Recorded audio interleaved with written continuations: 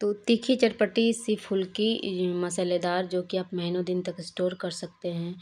Hello everyone, कैसे हो आप लोग? आई होप आप लोग बहुत अच्छे होंगे। Welcome to my new recipe.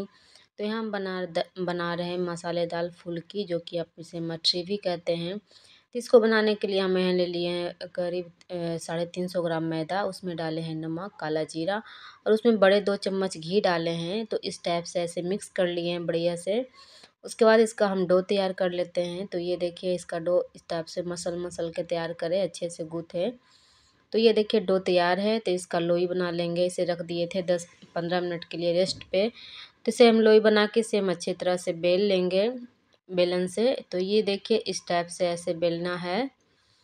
उसके बाद इसे हम कर लेंगे चाकू की मदद से कट। तो इस टाइप से ऐसे चौड़े चौड़े रो में कट कर लेंगे।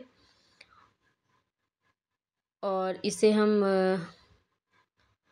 अच्छे शेप में कट कर लेंगे। आपको जैसा शेप चाहिए, उस शेप से कट कर लें।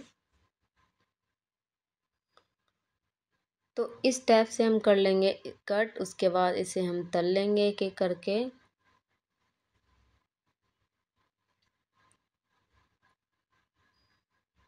बहुत ही ज़्यादा टेस्टी बनता है मसालेदार फुल्की।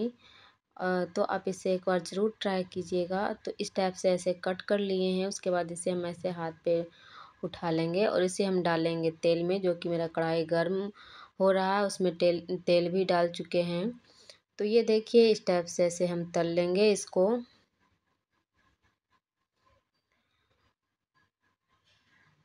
तो बहुत ही ज़्यादा टेस्टी लगता है, इसे आप महीने दिन तक स्टोर कर सकते हैं। और तीखी चटपटी खाने का मन है तो आप ऐसे स्नैक्स बना सकते हैं। तो ये देखिए, इसे हम पलट पलट के अच्छे से फ्राई कर लेंगे।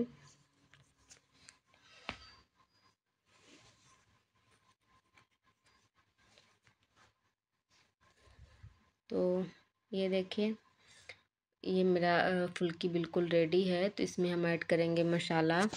तो उसके लिए ले लिए हैं हम लाल मिर्च पाउडर तो हम ले लिए हैं डेढ़ चम्मच। आप अपने तीखे अनुसार डालें, उसके बाद डाले हैं काला नमक। अपने स्वाद के अनुसार उसके बाद डालें हैं इसमें चाट मसाला तो कम ज़्यादा अपने अनुसार डालें।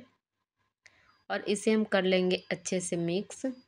तो इसे हम एक प्लेट ढक के मिक्स कर लेते हैं ताकि मसाला बाहर ना निकले। तो इसे हम ऐसे करके मिक्स कर लिए हैं। तो ये देखिए मसालेदार फुल्की बिल्कुल रेडी है। तो आप इसे ऐसे ट्रेन का स्टाइल में ऐसे खा सकते हैं इसमें लेके। तो आई होप कि ये मेरा छोटा सा रेसिपी आप लोग को पसंद आई होगी।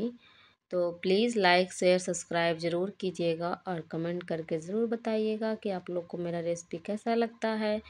तो ये रहा महीने दिन तक स्टोर करने वाला फुल्की, बिल्कुल रेडी है, मसालेदार, तीखी, चटपटी सी। Thank you, thanks for watching.